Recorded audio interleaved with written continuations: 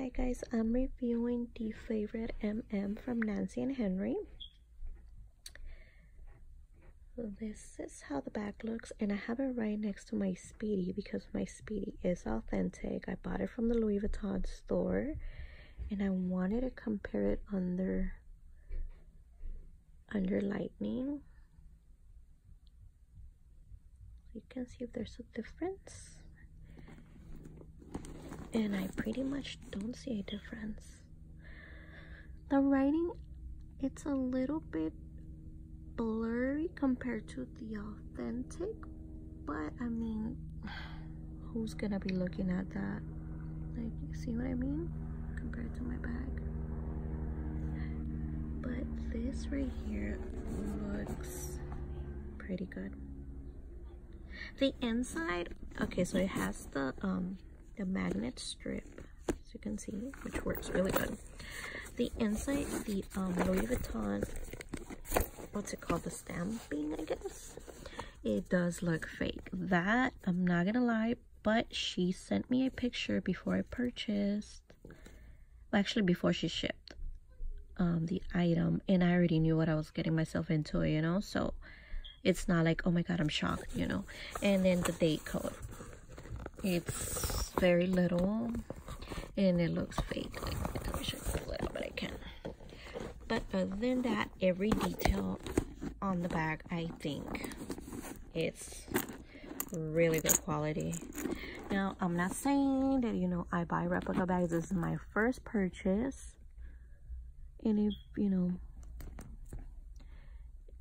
if you don't like replica bags, do not leave any negative comments. I will be deleting them. Like I said, this is my first purchase. I wanted to see, you know, how it is having a replica bag, which, you know what, it's not bad at all.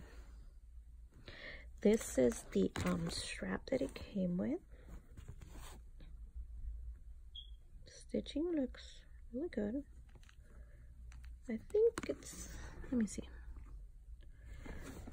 me show you guys.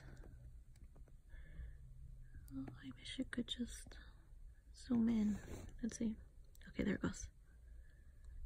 I mean I think it looks good. It does kind of have like a little smell no lie but it's not strong. By the way look guys when i purchased my speedy i bought this wallet but i feel like it's light like the color is lighter than my bag do you guys think it's because it's getting old? Hmm. I don't know, but it's 100% authentic like that.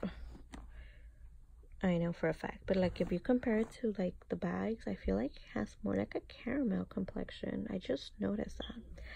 But anyhow, this is my honest opinion. If you want to get a bag, go for it. I mean, her i think her deals are pretty good. I she shipped it like really fast actually. Um within a week i received it and um she's pretty pretty fast replying to messages. I don't want to leave her information here.